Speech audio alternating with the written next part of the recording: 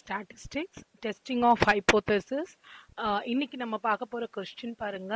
A machine is design to produce insulating washers for electrical device of average இந்த ஆவரேஜ்ன்றது மீன் அப்படின்றத ஆவரேஜ்னு கொடுத்துருக்காங்க. Of thickness இப்போ ஒரு மெஷின் வந்து என்ன பண்ணுது அப்படின்னா இன்சுலேட்டிங் வாஷர்ஸை வந்து டிசைன் பண்ணிக்கிட்டே இருக்கு.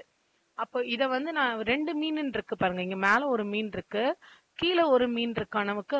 Random sample of ten washers was found to have a thickness of அப்படின்னு இன்னொரு மீன் நமக்கு கொடுத்துருக்காங்க. அண்ட் ஸ்டாண்டர்ட் டிவியேஷன் இருக்கு. இந்த ரெண்டு மீன்ல எதை பாப்புலேஷன் மீன் எடுக்கணும்? எதை வந்து சாம்பிள் மீன் எடுக்கணும் அப்படின்னு டவுட் இருந்ததுன்னா ஃபர்ஸ்ட் கொடுத்துருக்கிறது என்னன்னு கொடுத்துருக்காங்க பாருங்க. அந்த மெஷின் வந்து டிசைன் பண்ணி அதுல இருந்து இன்சுலேட்டிங் வாஷர்ஸ் வந்து ப்ரொடியூஸ் ஆகிட்டே இருக்கு. அதுதான் zero point zero two five centimetre திக்னஸ்ல produce ஆகணும். தட் இஸ் பாப்புலேஷன் மொத்த ப்ரொடக்ஷனும் அதில் தான் போகணும். இதில் என்ன பண்ணுறாங்க இப்போ ஃபார் எக்ஸாம்பிள் இமேஜின் பண்ணிக்கோங்க ஒரு பாக்ஸ் நிறைய இந்த மாதிரி வந்துட்டே இருக்கு ப்ரொடியூஸ் பண்ணிக்கிட்டே இருக்கு அந்த மிஷின் அதில் டென் சாம்பிளை மட்டும் எடுத்து செக் பண்ணும்போது அதோட திக்னஸ் என்னவா இருக்குன்னு பார்க்குறாங்க zero point zero two four சென்டிமீட்டராக இருக்குன்னு அப்படின்னு பார்க்குறாங்க இப்போ முதல்ல கொடுத்துருக்கிறது பாப்புலேஷன் ரெண்டாவதா கொடுத்துருக்கிறது வந்து ஒரு பத்தே பத்து பத்து எடுத்து செக் பண்ணும்போது தானே நமக்கு அந்த மீன் வருது. ஸோ ஃபர்ஸ்ட் இருக்கிறத பாப்புலேஷன் மீன் எடுத்துக்கணும். அண்ட் ரெண்டாவது கொடுத்துருக்கிறது சாம்பிளுக்கான மீன் அதனால அது சாம்பிள் மீன். பத்து வாஷர்ஸ் தான் எடுக்கிறாங்க அதோட திக்னஸ் அது. ஸோ ஃபர்ஸ்ட் கொடுத்துருக்கிற value population mean. Population mean என்னன்னு கொடுத்துட்டாங்க மியூ பாப்புலேஷன் மீன்ன்றதுனால அதை மியூன்னு எடுத்துக்கிறோம். Zero point zero two five centimetre and அடுத்தது a random sample of ten washers so இங்கே number of sample number of sample கொடுத்துருக்காங்க. என் ஈக்குவல் டு டென் இந்த டென்ன்றது லெஸ் தென் தேர்ட்டியாக இருக்குது so less than தேர்ட்டின்றதுனால the sample size is small n தேர்ட்டியை விட ஜாஸ்தி இருந்ததுன்னா அதை வந்து அதிகமாக இருக்கும்போது அதை லார்ஜ் சாம்பிள்னு சொல்லுவோம். இப்போ இது ஸ்மால் சாம்பிள் அந்த சாம்பிளுக்கான திக்னஸ் எவ்வளோ இருக்குன்னா எல்லாமே zero point zero two four centimetre தான் இருக்கு.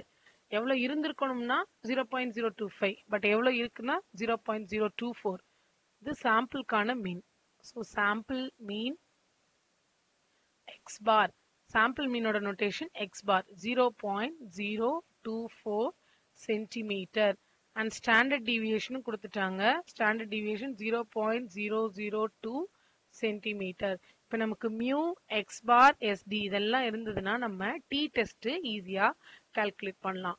இப்போ நமக்கு ரெண்டு விதமான டெஸ்ட் இருக்கும். ஒன்று வந்து டூ டெய்ல்டு டெஸ்ட் இன்னொன்று ஒன் டெய்ல் டெஸ்ட் இப்போ இந்த கொஸ்டின்ல test the significance of the deviation அப்படின்னு கேட்குறாங்க test the significance of the deviation கேட்டாங்கன்னா அந்த டிஃப்ரென்ஸை செக் பண்ணுங்க அப்படின்னு சொல்றாங்க. நமக்கு இருக்கிற சாம்பிளுக்கும் பாப்புலேஷனுக்குமா இருக்கிற டிஃப்ரென்ஸ் வந்து செக் பண்ண சொல்றாங்க. அந்த மாதிரி சிக்னிஃபிகன்ஸ் டிவியேஷன் சிக்னிஃபிகன்ஸ் டிஃப்ரென்ஸ்னு கேட்டாங்கன்னா டூ டெய்ல் டெஸ்ட் அப்படி இல்லாம பாசிட்டிவ் டைரக்ஷன்ல இப்ப நம்ம இதுக்கு முன்னாடி ப்ரீவியஸ் வீடியோஸ் பாத்தீங்கன்னா தெரியும். நம்மளோட கேம்பெயின் சக்சஸ்ஃபுல்லா இருந்ததா அப்படின்னு கேட்டாங்கன்னா அப்ப வந்து நம்ம வந்து கிரேட்டர் தென் யூஸ் பண்ணிருப்போம். கிரேட்டர் தென் யூஸ் பண்ணும்போது ரைட் டெய்ல் டெஸ்டாகவும் லெஸ் தென் யூஸ் பண்ணும்போது left tail use test left tail value use பண்ணுவோம்.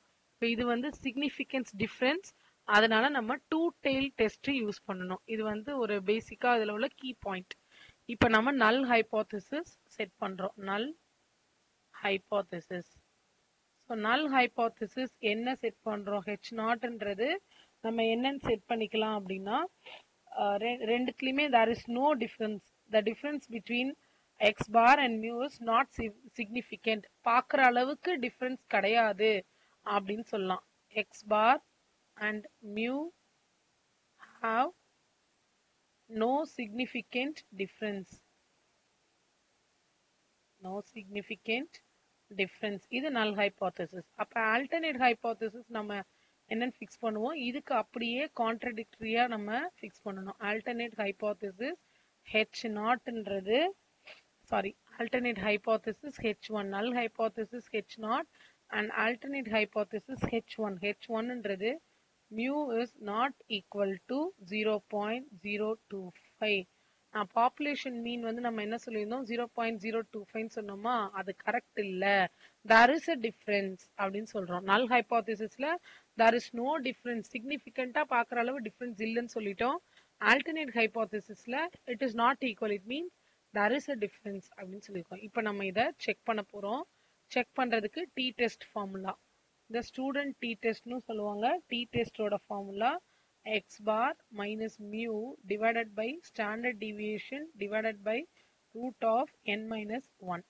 x பாரோட வேல்யூ எக்ஸ் பாரோட வேல்யூ நமக்கு zero point zero two four minus மியூவோட value zero point zero two five divided by standard deviation zero by zero zero two divided by root of n minus 1 sample 10 so 10 minus 1 that is root of 9 இப்போ இதுலேருந்து நமக்கு என்ன value கிடைக்கும் அப்படின்னா t equal to minus one point five modulus of t எடுக்கும்போது it is one point five இது நம்ம calculate பண்ண வேல்யூ ஸோ இது பேர் கால்குலேட்டட் வேல்யூ கால்குலேட்டட் வேல்யூ வந்து நமக்கு என்ன கொடுத்துருக்காங்க? ஒன் பாயிண்ட் ஃபைவ் இப்போ அடுத்தது டேபிள் வேல்யூ கன் கால்குலேட் பண்ணோம் டேபிள் வேல்யூ கால்குலேட் பண்ணுறதுக்கு டிகிரி ஆஃப் ஃப்ரீடம் இவங்க கொஷின்லேயே கொடுத்துட்டாங்க.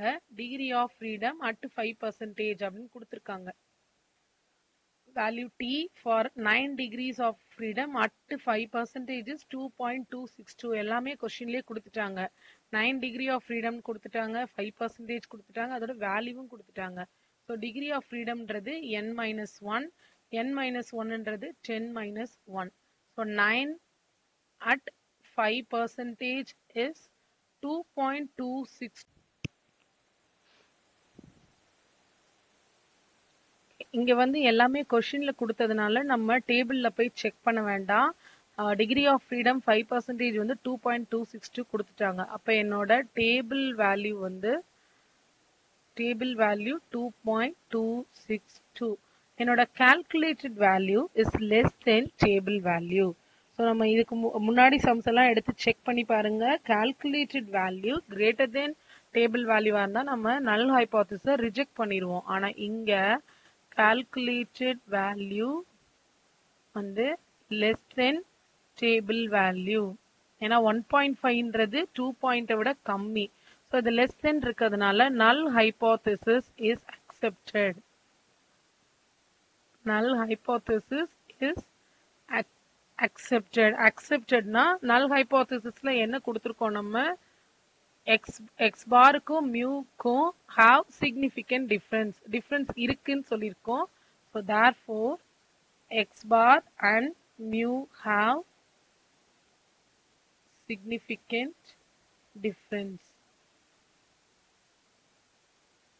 so there is a significant difference அப்படின்ற மாதிரி கொஸ்டின்ல இருந்ததுன்னா நம்ம டூ டெய்ல் டெஸ்ட்டுக்கு போயிடணும். And population mean sample mean எப்படி டிஃப்ரென்ஸ் பார்க்கறதுனா ஒரு சாம்பிளை எடுத்து அதுக்கான மீனுன்னு சொல்லும்போது அது எக்ஸ்பார் சாம்பிள் மீன் அண்ட் மொத்தமாக அந்த மிஷின் ப்ரொடியூஸ் பண்ணுறதுன்னு சொல்றது பாப்புலேஷன் மீன்